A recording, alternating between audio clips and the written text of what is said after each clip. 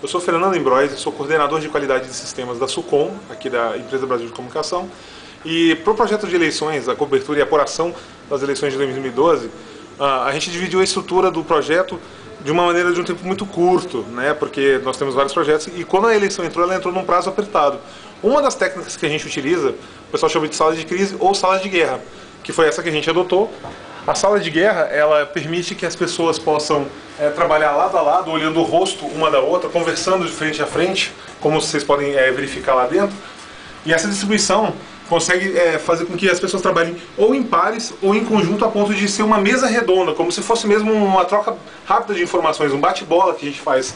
É, essa formação é utilizada principalmente quando você precisa resolver coisas é, de altíssima tecnologia de maneira rápida, que você não precisa ficar é, tentando descobrir as coisas, você divide o conhecimento muito rápido. Já pergunta, alguém conhece isso? Outra pessoa conhece aquilo?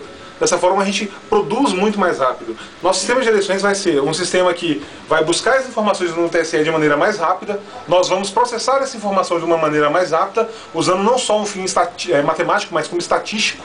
Então a gente consegue é, progredir de forma mais rápida e isso vai direto para a TV e para a internet.